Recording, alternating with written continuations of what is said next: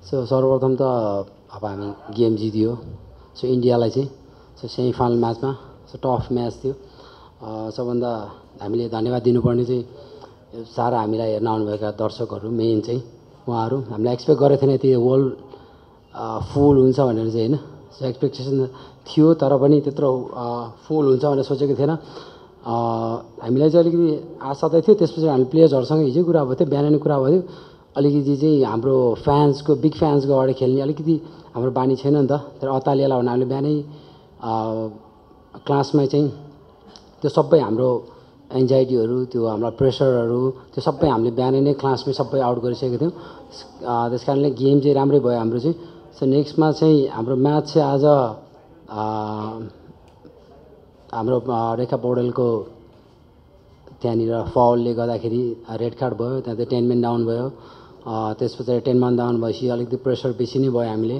So organise हुन नपाउने बित्तिकै हामीले गोल पनि खानु पऱ्यो त्यस पछाडि लगत्तै हामीले गोल गऱ्यौँ तर चाहिँ रेफ्रीले चाहिँ डिसल आउट गरिदिनु भयो गोललाई चाहिँ। सो हामीले कारण किन चाहिँ डिसल आउट भयो चाहिँ हामीले रेफ्री तपाईँ आफैले चाहिँ एलाउ गर्नुभएको खेल भनेर अनि हामीले गोल गरिसकेपछि फेरि गोल पनि इसारा पनि दिनुभयो। त्यस पछाडि किन चाहिँ भन्दाखेरि उताको कोच चाहिँ भित्र लाइनभित्र छिरेको कारणले चाहिँ तपाईँहरू गोल मान्ने हुने छैन भन्नुभयो उहाँले चाहिँ। अरे यो त कसरी हुन्छ? तपाईँले एलाउ गरिसकेपछि त त्यो त डेफिनेटली गोल भइसक्यो नि अब त। वर्ल्डमै छ नि त। अनि त्यसपछि त्यो डिस्कस हुँदा हुँदा फेरि उनीहरूले के अर्को कारण चाहिँ त्यो किपर चाहिँ गोल पोस्ट छोडेर यता सेलिब्रेसन आएको भएर चाहिँ त्यो गोल मान्ने हुने छैन भने फेरि। फेरि अर्को समस्या। त रिजनै तिनीहरूको कारण दुइटा कारण भयो क्या त्यहाँनिर। एउटा चाहिँ कोचको अर्को चाहिँ गोल त्यसरी हामीले चाहिँ प्लेयर्सहरू त डिसअपोइन्ट हुने भयो गोल भएपछि चाहिँ होइन। अब त्यस्तो भएपछि चाहिँ रेफ्रीले चाहिँ मैले चाहिँ अब रोक भन्ने इसारा गरेको तिमीले चाहिँ चलाइदिस्। फेरि भन्नुभयो रेफ्रीले चाहिँ त्यहाँ कुराहरू बाँच्यो त्यसमै चाहिँ हामी चाहिँ डिबेट गरेर बसिरहेका थियौँ। अलिकति टाइम चाहिँ लागिहाल्यो बेसी नै होइन? तर एट लास्ट अब एबेन्डन गर्ने अथवा कारवाही गर्ने अथवा फाइन तिराउने कुराहरू गर्नुभयो। अलिकति थ्रेटन टाइपको कुराहरू आयो कि अब तिमीहरू खेल्दैनस् त अब फाइन गराउनुपर्छ सस्पेन्ड गराउनुपर्छ भनेपछि अनि सबैजनाको अब हाम्रो एफएको मेम्बर्सहरू सबैजना मिलेर चाहिँ एट लास्टमा चाहिँ हामी खेल्दैनौँ भन्ने निर्णय भयो। तर पनि खेलाडीहरू चाहिँ मानेका थिएनन्। हामी किन खेल्ने? हामीलाई गोल हामीलाई मान्यता दिँदैन भने हामी किन चाहिँ म्याच खेल्ने त नि हामीले भन्ने कुरामा गयो। त्यति बेलासम्म चाहिँ हामीले मानेका थिएनौँ हामी पनि तर पछि चाहिँ एट लास्ट अब यत्रो दर्शकहरू आइरहेको हामीलाई यति धेरै सपोर्ट गर्न आइरहेको उहाँहरू त खुसी त हुनुहुन्थेन हामी खेल्दाखेरि चाहिँ तर पनि हामीले चाहिँ खेलौँ एकचोटि अब। अब एफएको इज्जतको लागि भने पनि हामीले खेल्नैपर्छ हामी खेलाडीको लागि पनि खेल्नैपर्छ र पछि हामी अर्को नेक्स्ट हाम्रो इयर्सहरूमा पनि हामीले काम गर्नुपर्ने छ त्यसले गर्दा फेरि हामीले चाहिँ रिस्टार्ट गऱ्यौँ रिस्टार्ट गरिसकेपछि चाहिँ हामीले चाहिँ के भन्यो भने अब हामी टेन म्यान डाउन छ हामी हामीले साम्बालाई चाहिँ ओके तिमी चाहिँ पछाडि आउनु पर्दैन। सो एट मेनलाई चाहिँ र किपरलाई चाहिँ हामीले के गर्ने कम्प्याक्ट टोटल्ली कम्प्याक्ट जहाँ बल छ त्यहाँ चाहिँ स्ट्रङ साइडमा चाहिँ हामी कुद्नैपर्छ नत्र हुँदैन। देन बल रिसिभ गऱ्यो देन साम्बालाई एट्याक त्यहाँनिर चाहिँ। फर्स्ट हामी चाहिँ टार्गेट नै साम्बा त्यस पछाडि हाम्रो गोल निक्लि निक्लिन्छ त्यस पछाडि निक्लिँदैन। एनिवे गोल निक्ल्यो त्यस पछाडि उनीको हामीलाई फाइदा भयो उनीलाई बेफाइदा भयो? कि किन एक्ज्याक्टली भन्दाखेरि इन्डियालाई चाहिँ उनीहरूले टेन मिनट डाउन हुँदा हामीलाई चाहिँ हाबी हुन्थ्यो डेफिनेटली उनीहरूले चाहिँ। हामीलाई प्रेसर दिन्थ्यो दिन्थ्यो।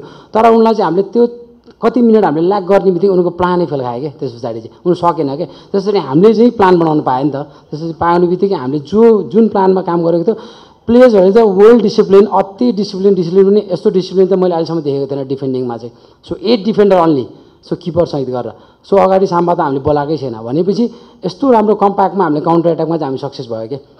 सो पेनाल्टीमा त हामीले सो अन्जनालाई हामीले ट्राई गर्ने नै थियो हाम्रो चाहिँ प्लानै थियो। सो अन्जना आयो राम्रो भयो। अल पेनाल्टिजहरू एकदम राम्रो भयो। त्यसले गर्दाखेरि राम्रो खेल्नु भएको उहाँले टेन मेनमा चाहिँ उहाँको प्लानिङमा आउनु सक्सेस भयो हाम्रो सक्सेस भयो त्यति।